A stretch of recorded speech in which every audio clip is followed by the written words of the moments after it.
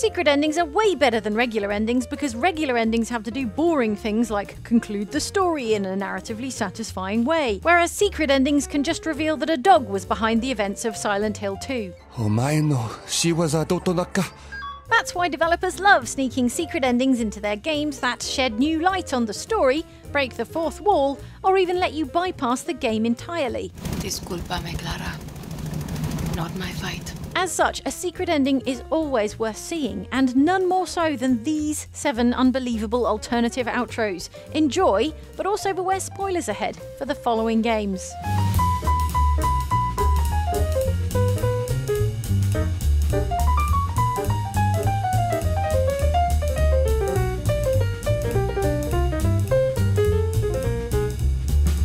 You really are a most singular individual. And to think she wanted me to put you down. Lucky for you, I never throw away anything useful. Prepare the serum. Forgetting's not so bad. You've done it before.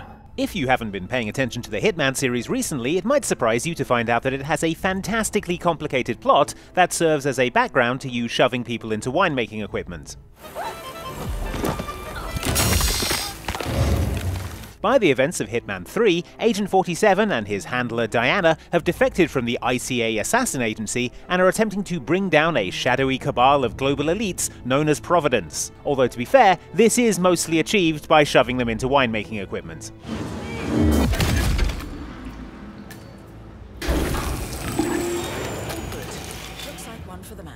After several twists and turns, the final mission of Hitman 3 sees Agent 47 wake up on a train where he is to be injected with a memory wiping serum that will allow Providence's intermediary, a man known as the Constant, to reprogram him back into being an assassin for Providence. Okay, right now the serum erases long and short term memory banks wholesale. But in a couple of cycles, we'll be able to isolate the effects to individual memories. When you reach the Constant at the end of the train, two choices are presented to you. You can either kill him, which, in the absence of any winemaking equipment, you'll have to do with whatever you can find lying around. Or you can inject him with the serum, erasing his memory and non lethally taking him out of the picture. This is what it means to lose everything. Wait long enough before choosing either option, however, and a third option opens up to you. Second thoughts. Perhaps we understand each other after all. Noticing your hesitation, the Constant asks if you wouldn't rather just inject yourself and go back to a life of uncomplicated hitmanning without having to worry about all these global conspiracies and cabals of shadowy elites. Take him up on the offer, and you get this secret ending in which 47 wakes up in a padded room, back in his old life as a cold blooded assassin. Wake up. Wake up, my friend. It's the dawn of a new day, and you have things to. Which exactly recreates the opening of the original Hitman, Codename 47. Wake up, my friend. It's the dawn of a new day, and you have things to do. Gotta say, 47 looks a lot better now. Probably all that serum. Castillo's got, what, 300,000 troops? I count six burnt out guerrillas, and you with a bullet to the leg. You can shoot, so shoot. Far Cry games are notorious for their secret shortcut endings, in which you can essentially skip the game entirely if you don't feel in the mood, which include one in Far Cry 4 where you just sit around and wait for Pagan Min to come back from running errands, I sincerely apologize. We saw terrorists in the area and yada yada. and the one in Far Cry 5 in which you decide to just not arrest Joseph Seed and everyone goes home. We're leaving, Rook. Far Cry 6 continues this noble tradition with its secret shortcut ending, which you can unlock after the story mission Libertad Rises, which rewards you with your very own boat. I keep my promises, Dani. You wanted a boat, you got a boat. The idea is that you're being given a boat with which to sail back to America, but that your conscience will make you stay on Yara and keep fighting for the rebels to help liberate them from the oppression of the overbearing dictator Anton Castillo. You're my best kid here. I can't promise you victory, I can't even promise you survival. What I can promise you is this. You are the lucky one. If you prefer, though, you can just take this boat and power off out to sea, prompting a sorry, not my fight from your character Dani. Discúlpame, Clara. Not my fight. And then you get the ending, in which it is three months later, you're lounging on a beach, and according to a radio news report, the rebels were crushed and Castillo has tightened his grip on power. President Anton Castillo announced that Clara Garcia, the leader of the terrorist group Libertad, was killed by his special forces. It is a nice beach, though, so I think this still counts as a good ending. Time is like a tide.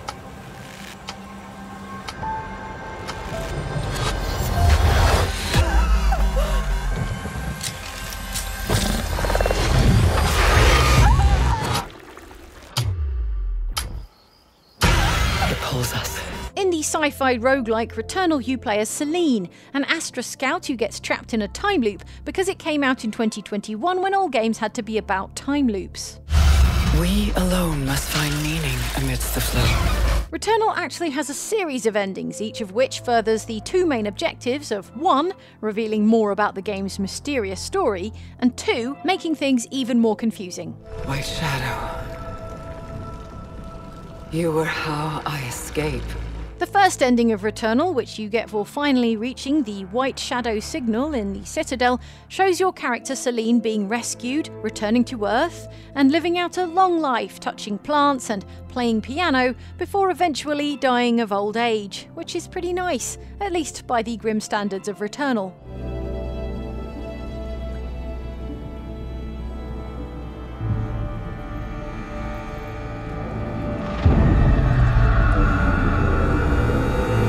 Except, like, that wasn't an ending at all. That was just a particularly long Returnal run, and now that you've died again, you're back on planet Time Loop. Welcome to Act 2. No, I can't be here. I escaped. I was. When you do go bravely on to complete Act 2, you unlock the game's first actual ending, which concludes with Celine encountering a giant alien octopus and receiving this vision. Is this what you wanted me to see? In it, Celine is seen driving at night with a child in the back of her car. It's a nice normal scene, rudely interrupted by an astronaut who wanders into the road and causes Celine to crash off a bridge and into a river.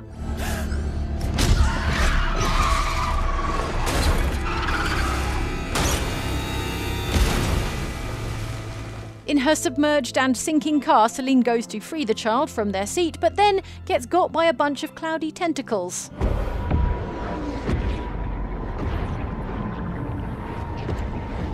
As endings go, this one is less revealing than perhaps you were hoping for, but hey, if you soldier on and unlock the elusive secret ending, maybe everything will become clear. To find out, you will need to jump through a whole bunch of other hoops on subsequent Returnal playthroughs in order to recover a car key. This will be the last time I return. Reach the end of the game with the car key in your possession, and then you get the final secret ending in which you unlock the car you found mysteriously rusting away on this alien world. Then you're confronted by a pregnant, alien looking skeleton in a wheelchair who apparently is, or represents, Celine's mother. In any case, she strangles you for a bit, and then you knock her down. I told you to leave me alone. In anything but the most literal possible interpretation of what the hell is going on, we can infer that Celine has issues with her mum, which, okay, but then it's straight on to a traumatic flashback or an alien time warp or some other kind of vision that reveals whoa, it turns out you were somehow the astronaut on the bridge before the car crash. The interpretations supported by this still pretty baffling secret ending are many and varied, but one thing we can now be sure of is this. This crash, like my many, many deaths in Returnal, was 100% my own fault. I'm leaving. Try and stop me. In the excellent roguelike dungeon crawler Hades, you play as Zagreus, son of the god of the underworld, who wants to escape from hell so he can visit his mum. Um, you must be Persephone. My name is Zagreus, and I think I might be your son. Keen to stop you doing this is your dad, Hades, who is not such a fan of you getting out of hell, and who acts as the game's final boss, and the guy who gives you a hard time about it if you die. Have you yet satisfied your foolish urges? Perhaps a lashing from the Fury's whips would set you straight. Anyway, just finishing Hades once is challenge enough, but when you do finally make it to the surface and your mother, Persephone, it turns out that Zagreus is bound to the underworld and unable to survive outside of it. So he snatches a few moments with his mother before heading back to hell, vowing to return. I'll tell him. I'll tell him. I feel awful. I I have to go. A lot of players would leave things there, satisfied that they'd bested what is a very challenging game. But if you stayed true to Zagreus' word and kept beating Hades to revisit his mother over and over again, it was possible to unlock the game's true ending, which is a lot cheerier than the one you initially get. Upon finishing the game for the 10th time, instead of fighting you at the end, Hades will stand aside and let you pass, and when you reach Persephone, she will announce that she's coming back to the underworld with you, and you take a nice boat ride together. Maybe just try and ignore all the skulls. Persephone arrives back in Hades, and your dysfunctional family finally gets to talk through their issues, achieving some level of closure. Or as much closure as you're likely to get when you're all literal gods, and one of you is basically the devil. Ah, boy. If you think for an instant that I shall go easier on you because of this, you'll soon learn otherwise. If even that isn't enough Hades for you, there is another final ending you can unlock from this point where you invite all the gods of Olympus to a massive party in the underworld. What's this, nephew? Why is this a note? And reconcile Olympus and Hades, turning everyone into one big happy family. As for the House of Hades, it required thorough cleansing, from the rafters to the floor. Who did canonically wreck the place partying. But still. Everything that lives is designed to end. They are perpetually trapped in a never ending spiral of life and death. However, life is all about the struggle within this cycle. 2017's Nier Automata has 26 endings, which range from good to bad to one where you die from eating a fish.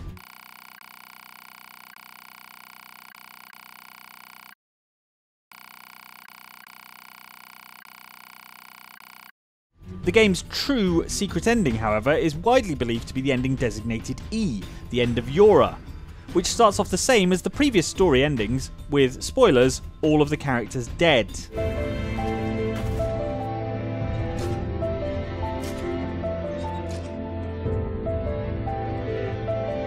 If you completed the previous endings, a new option will present itself, allowing you to try and save the personal data of the characters from the game from being deleted. Salvaging data poses an unacceptable level of risk. Knowing that, do you still wish for them to survive?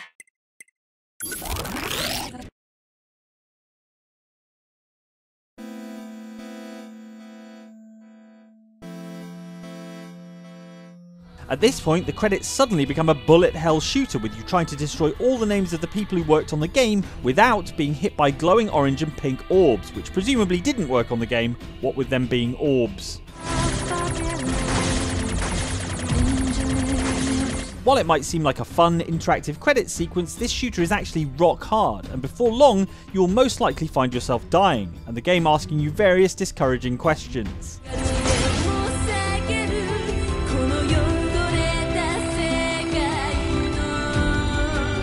Refuse to give up, and you'll be given an offer of rescue from another player. Accept it, and suddenly you're back in bullet hell, only this time with a gang of other players watching your back. Now, you have the combined power of all these players, and anytime you take a hit, one of them takes the fall, with their name popping up telling you that their data has been lost. With this newfound power, you should be able to reach the end of the sequence, where you're treated to signs of hope that your pals 9S and 2B survived, but that's when you're offered the final and most meaningful choice. Do you have any interest in helping the weak? There is a catch, however. Doing so will erase your Nier Automata save data for good. Selecting this option enables you to save someone somewhere in the world. However, in exchange, you will lose all of your save data. Do you still wish to rescue someone? And also, the person you help might be a jerk, says the game. Still, This person, who cries out for help even as we speak, may be someone you intensely dislike. Do you still wish to help? so you sit and watch all your hard work be deleted, but can rest easy in the knowledge that you helped some random stranger probably watch all their hard work be deleted also. All of your data has been deleted. And so, we must say goodbye. Hmm, maybe I should have given this a bit more thought. Come a long way to get here, haven't we? Just think. It all started in a f***ing landfill. Then you tried to kill me. See exactly what I mean? Trying to save your sorry hide now. The premise of Cyberpunk 2077 is that you are a hired gun in a dystopian future where a cyber ghost lives inside your cyber brain. The good news is the ghost looks exactly like Keanu Reeves. The bad news is you can never make out with him. Truly a dystopia. Know what? You're starting to remind me of me, 50 years back. Minus the charisma. An impressive The other bad news is you're going to die of having this jackass living in your head rent free, unless you find a way of not doing that. It seems you are running out of time. That leads you eventually to this rooftop, where your various options for marching into one final decisive battle are laid out. And it's this decision that governs which ending of Cyberpunk 2077 you're gonna get. You can let me do that. Or you can try Panam and her tarmac rats. But then their lives will weigh heavy on your soul. Or you take Arasaka's deal, but then you'll have your own soul on your conscience. If you can't bring yourself to make the decision, though, or if you just space out while gazing at Johnny Keanu face, then after five minutes of awkwardly waiting around, he presents you with a secret alternative option. Kinda tough deciding which of your friends get to die, isn't it? Good news is you got this one chum who's already dead. And he'd be honored to join you on a wild suicide run. Oh, also, by the way, whether or not Johnny will actually present you with this secret alternative option was determined several hours ago by you, unknowingly, during one specific conversation in one specific mission. But let's say it was my real grave. What would you write? If you said the wrong things in that conversation, you irretrievably flubbed your relationship with Johnny and locked off the secret ending, so good luck with not having done that. Choosing the secret option means you and Johnny go kick in the front door of the Corpo Pigs at Arasaka and storm the building alone, which isn't so much a clever plan as it is the hardest possible way to achieve your goals. If you do somehow pull it off, you wind up back in cyberspace to make one final decision about your future. Here, your options are sacrifice yourself and bequeath your body to Johnny, or leave Johnny to hang out in cyberspace with the AI that used to be his girlfriend. This bridge leads deeper into cyberspace. Cross it and permanently sever the connection with your body. The path to your body passes through that mortal well. Now, obviously, all choices are fine and valid in this morally ambiguous tale of transhumanism, but also maybe you didn't come this far to give up your sweet cyborg bod and extensive jacket collection. In which case, congratulations! You've opted for the superior of the two possible secret endings by keeping your body. Goodbye. And never stop. Flash forward, and you've returned to Night City without Johnny, and yes, you are basically running out the clock in your still doomed body, but at least now you live in a penthouse with your chosen sweetie. Morning. And yes, your chosen sweetie is going to leave you because life be like that sometimes. But by way of consolation, you are at long last a true legend of Night City, and you do have a flying car. Good morning, V. Hey, Del. Are you prepared for takeoff? Also, in this, the most epic of possible cyberpunk endings, you get to go to space to do a space heist on the luxury space station resort, Crystal Palace. So you can check that one off your bucket list. Of course, if you unknowingly messed up that specific conversation several hours earlier, then your actual ending will be just staring at Keanu Reeves' face forever, which I think we can all agree is the true best ending to Cyberpunk 2077. Look at those cheekbones.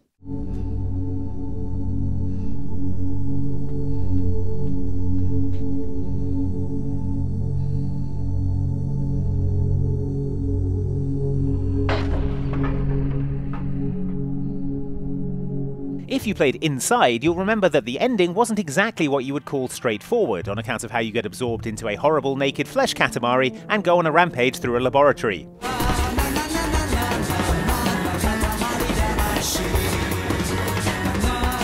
I added the music. Makes it more fun. If you'd rather your inside ending were less fleshy, however, there is a secret ending which is much more sinister and inscrutable, if such a thing were possible. To get this ending, you have to find and smash all 13 of these mysterious glowing orbs that are hidden throughout the game. Once you've done that, you need to return to the location of the second orb you found, a bunker in a cornfield accessible via a hatch. There's a locked door, next to which is a lever which plays different musical tones depending on which direction you push it in. It's here you need to input a musical sequence you heard earlier in the game that you probably didn't think was significant at the time.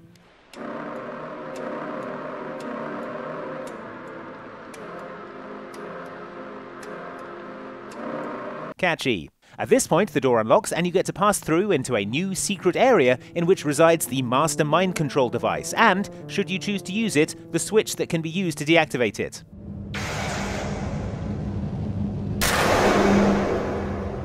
Tampering with this switch causes the machine to deactivate, the lights to go out, and, most significantly, your character to slump over, much like the zombie like figures we see throughout the rest of the game.